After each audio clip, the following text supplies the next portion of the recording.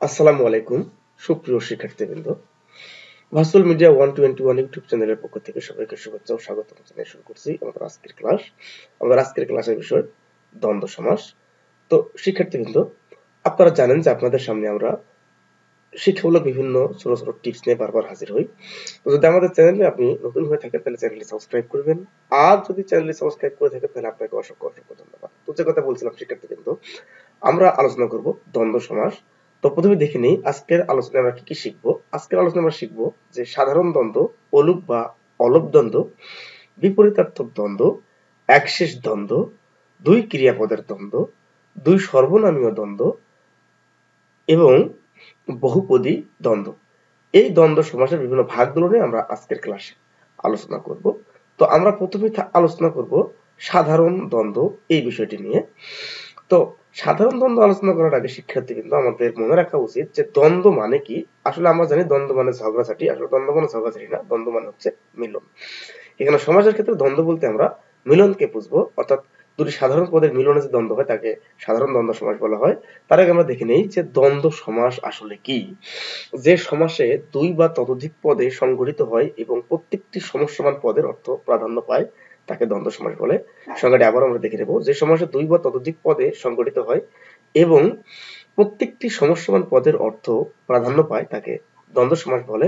এবার আমরা দেখে নেব দ্বন্দ্ব সমাস কীভাবে চিনব। দ্বন্দ্ব সমাস চেনার বুদ্ধি হচ্ছে ও এবং আর বা কিংবা অথবা পূর্ববর্তী সংযোজক অব্যয়গুলো সমস্যমান পদের মাঝে থাকবে। আমরা একটি উদাহরণ দেখানোর চেষ্টা করি সুপ্র শিক্ষার্থী এখানে দেখেন ছেলে ও মেয়ে। ছেলে মেয়ে, এখানে দেখেন ছেলে পূর্বপদ, মেয়ে হচ্ছে উত্তর পদ বা পরপদ এবং পূর্বপদ এবং উত্তরপদ মিলে হচ্ছে সমস্যমান পদ অর্থাৎ সমাসের পূর্বপদ এবং পরপদকে আমরা বলি সমস্যমান পদ তাহলে এই সমস্যমান পদগুলোর সমাস হয়ে কি হচ্ছে? ছেলে মেয়ে। আমরা এখানে কি দেখতে পেলাম? ছেলে মেয়ে। অর্থাৎ সমস্যমান পদগুলো প্রত্যেকটির অর্থই প্রাধান্য পেয়েছে। কিংবা আমরা আবারও দেখতে পারি বাবা ও মা। এখানে বাবা পূর্বপদ মা হচ্ছে উত্তরপদ বা পরপদ এবং পূর্বপদ উত্তরপদ হচ্ছে সমস্যমান পদ আর সমাস করলে আমরা পাচ্ছি বাবা, মা। তাহলে এখানে সমস্যমান পদগুলোর অর্থ প্রাধান্য পেয়েছে বলে বাবা, মা হয়েছে। তদ্রূপ আমরা দেখে নিতে পারি, হাট ও বাজার, হাট, বাজার, রাম ও রহিম, রাম, রহিম এবং এই দ্বন্দ্ব সমাসগুলোই হচ্ছে সাধারণ দ্বন্দ্ব সমাস সুপ্রিয় কিন্তু এবারে আমরা দেখে নেব অলুক বা অলোক দ্বন্দ্ব সমাস অলুক বা অলপ দ্বন্দ্ব সমাস, অলুক বা অলপ অর্থ হচ্ছে লোপ পায় না এমন। আমরা জানি যে লোপ পাওয়া মানে হারানো, হারায় না এমন। তারপরে দেখে নেব কি হারায় না। আমরা প্রথমে অলুক বা অলপ দ্বন্দ্ব সমাসের সংজ্ঞা দেখে নেওয়ার চেষ্টা করব যে দ্বন্দ্ব সমাসের সমসমান পদগুলির বিভক্তি লোপ পায় না। সমাসবদ্ধ হওয়ার পরেও বিভক্তি থেকে যায়, তাকে অলুক বা অলপ দ্বন্দ্ব সমাস বলে। অর্থাৎ সমাসবদ্ধ হওয়ার পরেও বিভক্তি থেকে যায়, তাকে অলুক বা অলপ দ্বন্দ্ব সমাস বলে।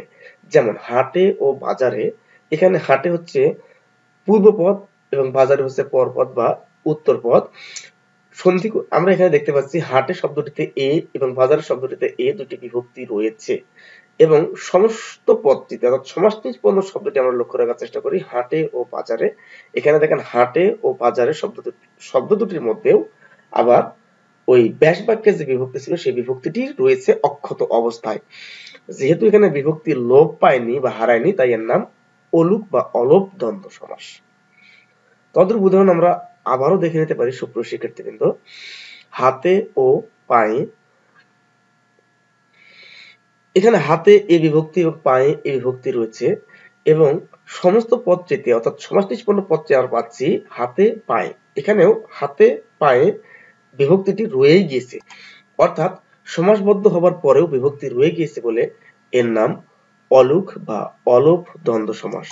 সুপ্রিয় শিক্ষার্থীবৃন্দ এই পর্যায়ে আমরা দেখে নেব বিপরীতার্থ দ্বন্দ্ব। আমাদের বুঝতে হবে যে বিপরীতার্থ দ্বন্দ্ব বলতে আমরা কি বুঝি? সুপ্রিয় শিক্ষার্থীবৃন্দ, বিপরীতার্থ দ্বন্দ্ব বলতে আমরা বুঝি পরস্পর বিপরীত অর্থ বিশিষ্ট দুই বা ততোধিক পদের মিলনে যে দ্বন্দ্ব সমাস হয়, তাকে বিপরীতার্থক দ্বন্দ্ব সমাস বলে। আবার বলছি, পরস্পর বিপরীত অর্থ বিশিষ্ট দুই বা ততোধিক পদের মিলনে যে দ্বন্দ্ব সমাস হয়, তাকে বিপরীতার্থক দ্বন্দ্ব সমাস বলে।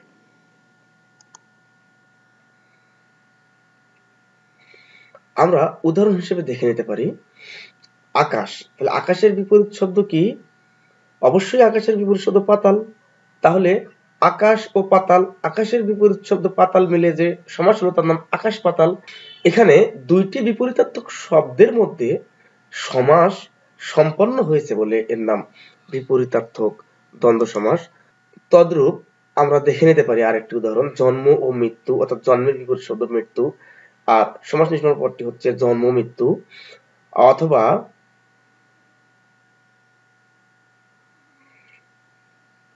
শত্রু ও মিত্র, আমরা সবাই জানি যে শত্রুর বিপরীত শব্দ মিত্র। দুটি বিপরীত শব্দ মিলে যে সমাসটি হলো, তার নাম হচ্ছে শত্রু মিত্র।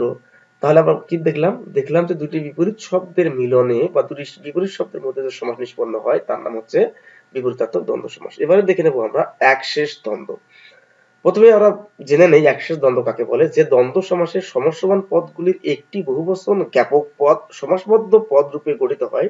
তাকে একশেষ দ্বন্দ্ব সমাস বলে। আবার বলছি, যে দ্বন্দ্ব সমাসের সমস্যবান পদগুলির একটি বহুবচন জ্ঞাপক পদ সমাসবদ্ধ পদ রূপে গঠিত হয়, তাকে একশেষ দ্বন্দ্ব সমাস বলে।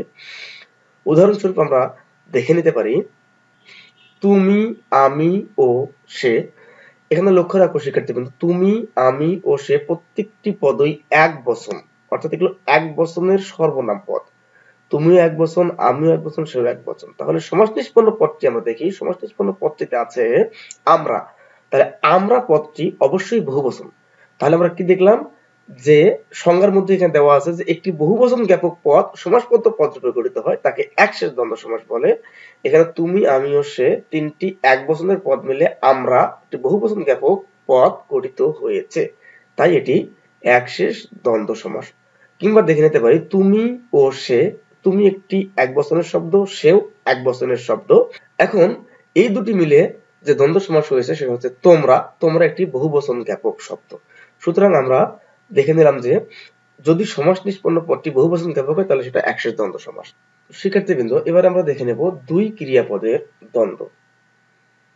দুই ক্রিয়াপদের দ্বন্দ্ব বলতে আমরা কি বুঝি? যে দ্বন্দ্ব সমাসের দুটি পদই ক্রিয়াপদ। তাকে বলে দুটি ক্রিয়াপদের দ্বন্দ্ব সমাস বা দুই ক্রিয়াপদের দ্বন্দ্ব সমাস অর্থাৎ দ্বন্দ্ব সমাসের দুটি পদই ক্রিয়াপদ হবে, যেমন আসা ও যাওয়া আসা যাওয়া। এখানে আসা একটি ক্রিয়াপদ, যাওয়াও একটি ক্রিয়াপদ। এই আসা ও যাওয়া নিয়ে যে সমাজটি গঠিত হচ্ছে বা সমাজ নিষ্পন্ন পদটি হচ্ছে তা হচ্ছে আসা যাওয়া। আসা যাওয়াটাও ক্রিয়াপদ। তাহলে দুইটি ক্রিয়াপদ নিয়ে একটি সমাস হলো, যার ফলে নাম হচ্ছে দুই ক্রিয়াপদের দ্বন্দ্ব কিংবা লেখা ও পড়া, লেখাপড়া, লেখা একটি ক্রিয়াপদ, পড়া একটি ক্রিয়াপদ, লেখাপড়া একটি সমাজ গঠিত হলো। সুতরাং লেখা ও পড়া দুইটি ক্রিয়াপদ মিলে যে সমাজ গঠিত হলো বলে এর নাম দুই ক্রিয়াপদের দ্বন্দ্ব। এবারে আমরা দেখব দুই সর্বনামীয় দ্বন্দ্ব, অর্থাৎ দুই সর্বনামীয় দ্বন্দ্ব বলতে আমরা কি বুঝি? শিক্ষার্থীবৃন্দ, যে দ্বন্দ্ব সমাসের দুইটি সর্বনাম পদ থাকে, তাকে বলে দুইটি সর্বনামীয় দ্বন্দ্ব সমাস। যেমন উদাহরণস্বরূপ দেখে নিতে পারি, তুমি ও আমি। এখানে তুমি ও আমি, তুমি একটি সর্বনাম পদ আমিও একটি সর্বনাম পদ দুটি সর্বনাম পদ মিলে সমাস হচ্ছে তুমি, আমি। এখানে তুমি, আমি সমাসটি হচ্ছে দুইটি সর্বনামীয় দ্বন্দ্ব বা দুই সর্বনামীয় দ্বন্দ্ব। আমরা বলতে পারি, এটা ও সেটা, এটা একটি সর্বনাম পদ এবং সেটা একটি সর্বনাম পদ। দুটি সর্বনাম পদ মিলে হচ্ছে এটা, সেটা। সুতরাং এটা দুই সর্বনামীয় দ্বন্দ্ব। এবার আমরা দেখে নেব বহুপদী দ্বন্দ্ব। সুপ্রিয় শিক্ষার্থীবৃন্দ, বহুপদী দ্বন্দ্ব কি? যে দ্বন্দ্ব সমাসে দুইয়ের অধিক পদ থাকে, তাকে বলে বহুপদী দ্বন্দ্ব সমাস। আবার বলছি, যে দ্বন্দ্ব সমাসে দুইয়ের অধিক পদ থাকে, তাকে বলে বহুপদী দ্বন্দ্ব সমাস। যেমন, আমরা উদাহরণ দেখে নিতে পারি, স্বর্গ, মর্ত ও পাতাল। এখানে স্বর্গ একটি পদ, মর্ত একটি পদ, পাতাল একটি পদ। দুইয়ের অধিক পদ রয়েছে। এবং আমাদের সমাস নিষ্পন্ন পদটি আমরা পাচ্ছি স্বর্গ মর্ত পাতাল যেহেতু এখানে দুইয়ের অধিক পদ মিলে দ্বন্দ্ব সমাস হয়েছে সেই জন্য এর নাম বহুপদী দ্বন্দ্ব সমাস। এরূপ আরও উদাহরণ দেখে নিতে পারি, যেমন সত্য, শিব ও সুন্দর। সত্য একটি পদ, শিব একটি পদ, সুন্দর একটি পদ, এখানে দুইয়ের অধিক পদ রয়েছে, সত্য, শিব, সুন্দর সমাস নিষ্পন্ন হয়েছে। সুতরাং আমরা একে বলতে পারি বহুপদী দ্বন্দ্ব সমাস কিংবা রূপ, রস, গন্ধ, শব্দ ও স্পর্শ। এখানে দেখেন রূপ, রস, গন্ধ, শব্দ ও স্পর্শ। এখানে পাঁচটি শব্দ রয়েছে। রূপ একটি শব্দ, রস একটি শব্দ, গন্ধ একটি শব্দ ও স্পর্শ শব্দ একটি শব্দ ও স্পর্শ একটি শব্দ। সুতরাং এই পাঁচটি পদ মিলিয়ে যে সমাস হয়েছে সে সমাস নিষ্পন্ন পদটি আমরা দেখতে পাচ্ছি রূপ, রস, গন্ধ, শব্দ, স্পর্শ। তাহলে এখানে বহুগুলো পদ মিলিয়ে দ্বন্দ্ব হয়েছে বলে এর নাম বহুপদী দ্বন্দ্ব সমাস। শিক্ষার্থীবৃন্দ, ভিডিওটি দেখার জন্য সবাইকে ধন্যবাদ। এই রকম শিক্ষামূলক ছোট ছোট টিপস পেতে আমাদের চ্যানেলটি সাবস্ক্রাইব করে আমাদের চ্যানেলের সাথে থাকুন। ধন্যবাদ সবাইকে। আসসালামু আলাইকুম।